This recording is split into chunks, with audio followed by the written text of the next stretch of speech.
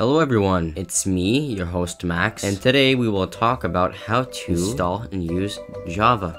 To clear things up, this is not Minecraft Java, but Java.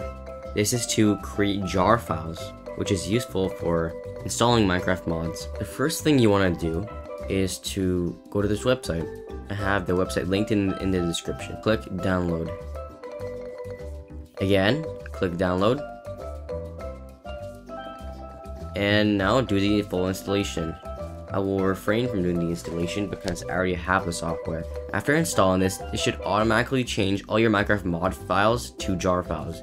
If you have any Minecraft mod files and you install some in the future, they will automatically become jar files. But in the unlikely scenario where your mod files do not turn into jar files, right click them, select open with, and then Java, and it should turn into a jar file. Thank you for clicking on this video and watching the tutorial. I hope you guys have good luck with your Minecraft mods. See you in the next one.